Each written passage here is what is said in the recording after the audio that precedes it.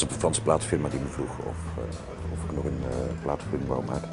Ik had zoiets ja, maar je gaat toch altijd horen dat ik, uh, dat geen, geen echte Franstalige ben. Zeker geen Fransman.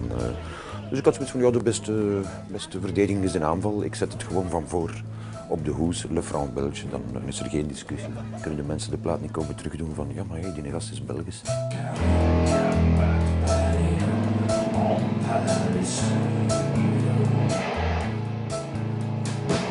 Wilde al lang een, een plaat maken in het, uh, in het Frans. Ik ben heel hard aangetrokken door, zowel door de muziek als uh, de Franse muziek als door, uh, door de Franse taal. Uh, nummers in het Engels zingen voor Vlaanderen. Dat heb ik al 250 keer gedaan of zo en dat lukt wel.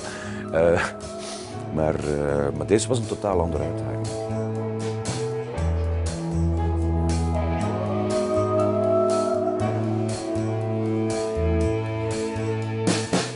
Je zingt helemaal anders in het Frans eigenlijk. Um, Fransen hebben meer een cultuur van naar de teksten te luisteren en een nummer passeert alleen maar als het geloofwaardig gezongen is en een interessante tekst heeft.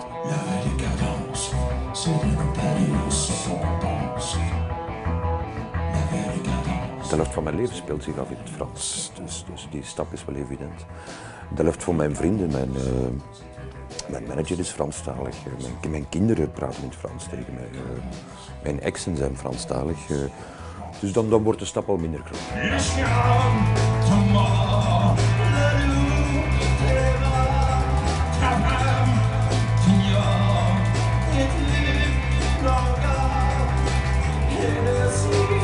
Ik denk dat Frans wel, wel, wel goed klikt met mijn stem. In het Frans uh, is er meer een traditie van iets dichter bij de micro te komen zitten. En omdat de tekst belangrijker wordt, kun je het ook met je, gewoon met je praatstem, je vertelstem uh, brengen om een warm uh, come to daddy gehalte, vertrouwelijk vaderfiguur die dan rare dingen zegt.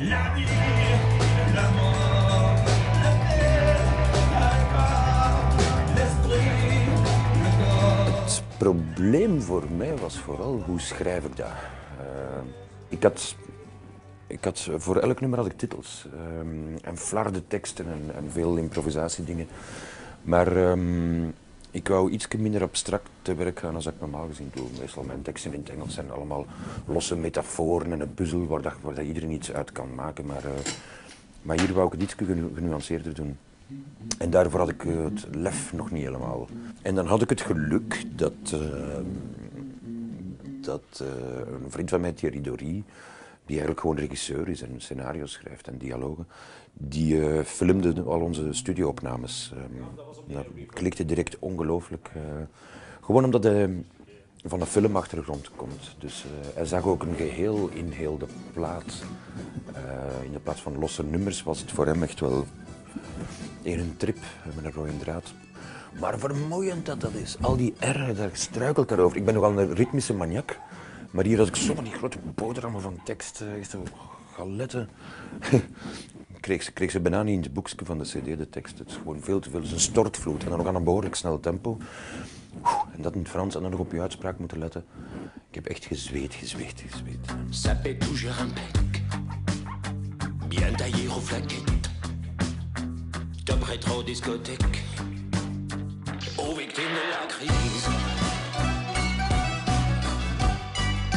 Ik heb de gewoonte van platen te maken, uh, wetend dat ik daar dan een paar jaar, allee, dat die een paar jaar lang een belangrijke rol gaan spelen in mijn leven. En uh, dus je maakt eigenlijk de soundtrack van het leven dat je nog gaat moeten leiden. Meer dan dat je een conclusie maakt van de voorbije jaren, maakt eigenlijk een soort van preview van de, jaren die er gaan aankomen. En in dit geval had ik zoiets van, wow, ik wil iets, uh, ik wil iets heel vrolijk, groots, um, groots geladen. Gewoon omdat je wilt dat dat je leven zo is. Dus kun je dat proactief uh, gewoon op plaats zetten. Maar daarmee is, daarmee een beetje uit de hand gelopen, pompeus geworden.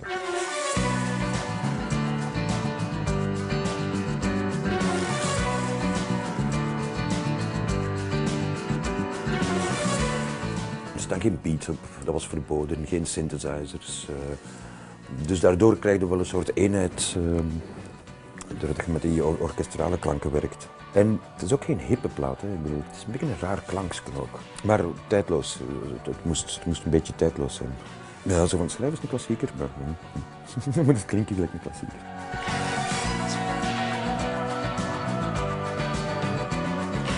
Ik dacht dat ik na drie, vier maanden wel klaar ging zijn, maar toen was ik nog niet eens halverwege.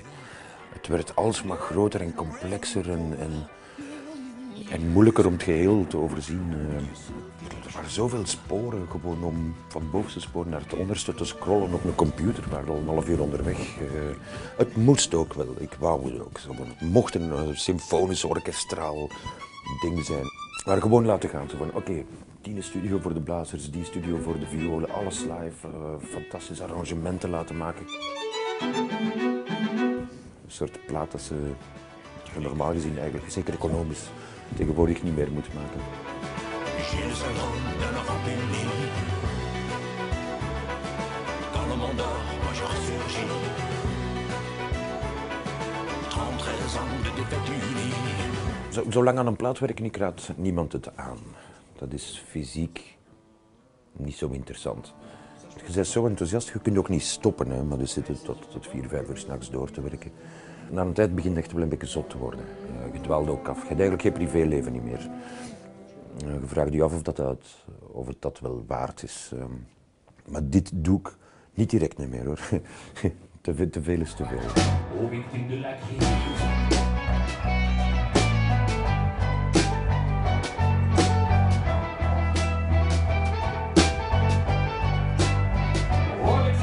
Ik ben heel benieuwd hoe dat we het live gaan, gaan brengen, maar we hebben nu al drie, vier dagen zitten repeteren en, en het lukt. Het, is, eh, het lukt omdat...